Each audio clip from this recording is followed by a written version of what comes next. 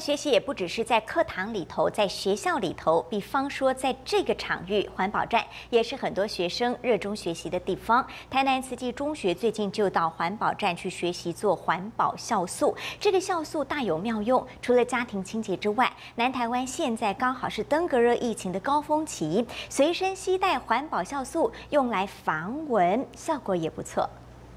来，这边同学认真搅拌桶子里的糖水，那边同学则是将果皮和厨余混合称重。原来他们正在学习做环保酵素。做成酵素的话，可以减少垃圾量，然后也可以就是减少平常我们使用一些化学药剂。可以随身携带。那如果说在外面的话呢，都可以自己喷洒的话，可以防蚊，而且呢，也可以回去呢跟父母亲做一个互动。期盼学生能把环保理念带回家里，影响家人。而分类的越细，回收的价值就越高。学生们用心学，也体会到自己造成太多地球的负担。多使用环保袋，然后如果没有环保袋的话，也可以将使用过塑胶袋清洗之后再次使用。真正的由心出发，想要爱护这个地球，想要爱护这个大地。